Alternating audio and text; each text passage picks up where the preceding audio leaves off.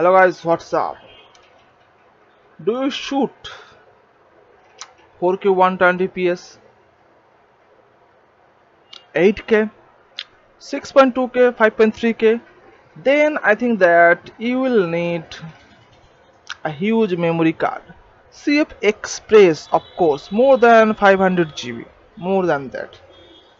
And if you are using Nikon Z9 which shoots 8.3k at 60p in RAW and oversampled 4k 40 60p uh, sorry.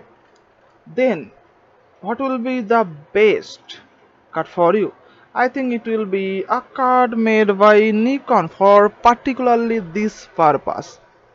Now they release a CF Express Type B card with a 660 GB of memory with a read speed of 1700 megabytes per second and a write speed of 1500 megabytes per second. And this is cost at 727 dollar for this one.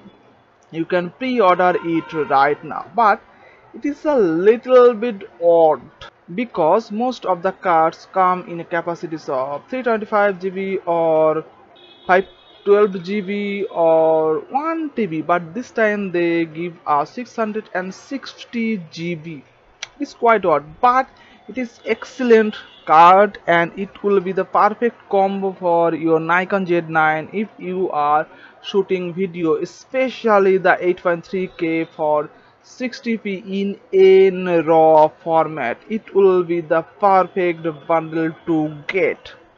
And that's basically all about this